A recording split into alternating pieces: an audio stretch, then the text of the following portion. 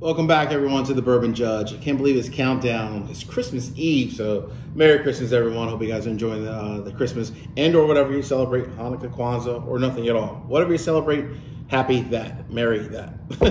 um, but real quick, guys, just want to say, uh, you know, today we're gonna go ahead and get into uh, uh, this is Pinhook Bourbon. So, got some great feedback from the viewers saying, "Hey, Bourbon Judge, can you review a bourbon that's a little bit easier to find and a little bit more, you know, priced at a normal price point, right? Some of the Weller and so forth products, the, the Buffalo Trace products, sometimes can be very expensive and hard to find. So, let's try to review something that's a little bit easier to find. So, I travel quite often for work, different states all over, and I've seen Pinhook all over. So, uh, hopefully, this is easy for you guys to find. So, let's kind of get into this one. So, Pinhook, most of their bourbons and ryes, you can buy them anywhere from 40 to $50. That's about average, right? Um, that's the normal price. And again, typically pretty easy to find. Um, so, Pinhook Bourbon, they started out. So, first and foremost, I'll say a couple of things. They make uh, a bourbon, a rye, a single barrel. Um, this one here is the cask strength, which is the one we're going to review today. So cask strength, um, and they actually think even this year they've released a rye cask strength, which I haven't tried that one yet. So that's on my hit list to try. But we're gonna go ahead and get into this one a little bit. So I'm gonna pour this one and give you a little bit of history about pinhook. So pinhook, the whole term about it, first and foremost, pinhooking, if you will, is a, a, a term for raising thoroughbred horses hence the picture on the front of the bottle, right? Um, raising thoroughbred horses, then obviously they end up being sold off and so forth. So you'll always see the beautiful picture of horses on the front. Uh, it always gives you the horse size. So this one is 15.3 hands. Um, tells you the color, the sex. Uh, this crop, which means this uh, this one was uh, actually bottled in 2018. And then um, from a proof standpoint, this is 115.3. There's the, the bottle, 115.3. So interesting story about Pinhook as a company. So, a couple things. First and foremost, they do not actually make their own bourbon. They work with a company called Castle and Key. Um, Castle and Key Distillery is the one who actually they distill it, they uh, they bottle it. I'm sorry, distill it. They age it. They barrel it, uh, and then they bottle it. Right. So they do the entire process, right, from start to finish.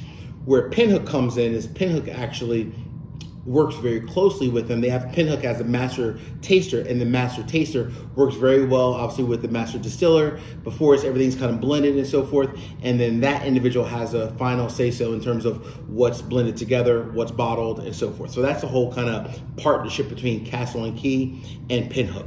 But the last cool thing about Castle and Key Pinhook's partner is that Castle and Key started back in 2014. So they started five years ago and they actually bought the land from the old E.H. Taylor distillery. So Colonel Taylor Jr., right? Everyone knows E.H. Taylor from the, the product that we buy this day and age, right?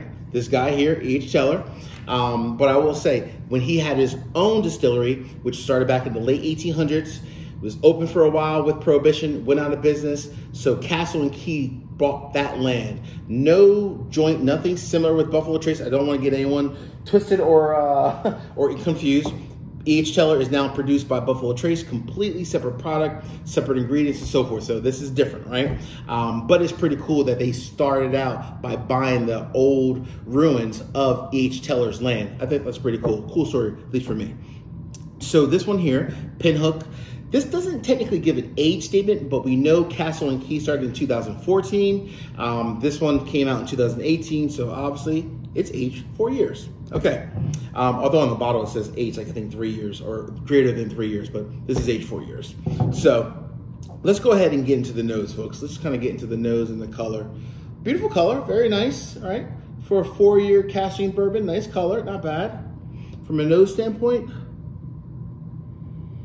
Hmm, it's very interesting. This one's, uh, wow. I don't always smell a very sweet maple syrup, almost like a like a brown sugar smell. A lot of times you pick up the caramel, vanilla.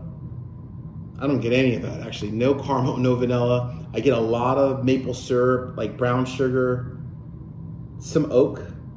All right, interesting. Okay, not bad. Let's go ahead and get into the tasting. Let's see how this one tastes.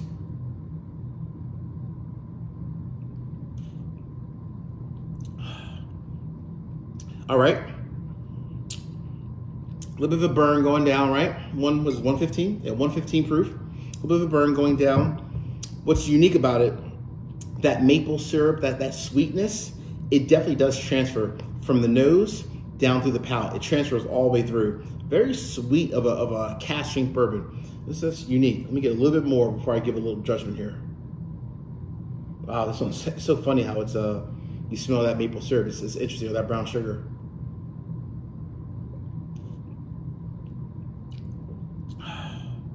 All right. So I get a little oak. I get a little bit of alcohol as well, right? It kind of burns going down a little bit. So this one, you feel it going down a little bit. Not horrible, but you feel it, right? And I'm a cask strength guy, I'll tell you that. But you do feel this one kind of going down. So this one, you know, it's eight, four years. You say, you know, Bourbon Judge, is this one worth buying? Is it worth leaving on the shelf? I've seen it out. What's the judgment? Judgment is in. As you can tell, that was a light, light tap, right? This one's good. This is a buy. I'm gonna tell you it's a buy, but it's not like a overwhelming like run out and grab 15 bottles of it. For me, I bought it because it's a cask strength bourbon that I could find for $45.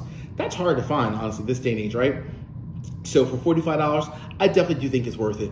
It's a good bourbon to sip, you know, on a, on a nice, you know, cold night as it is uh, today, right? It's worth sipping. Um, it's good. It's uh, to me it, the reason why I give it a light tap and it's a decent judgment of a it's a buy but not an overwhelming buy is because honestly it kind of lacks a little bit of profile, right? So it's aged four years, right? It's a new distillery, new bourbon company, aged four years for this one here. It's good. Um, it's a little bit on the sweeter side, right, than I'm normally used to, which is okay. So if you love like a very sweet bourbon, then you would love this. Um, but for me, it just kind of lacks a little bit of the profile that I'm normally used to, like a very well-rounded bourbon as a whole. So again, I think it's good. I think it's worth maybe trying if you're out at a local bar and so forth. And if you like it, feel free to go ahead and buy it.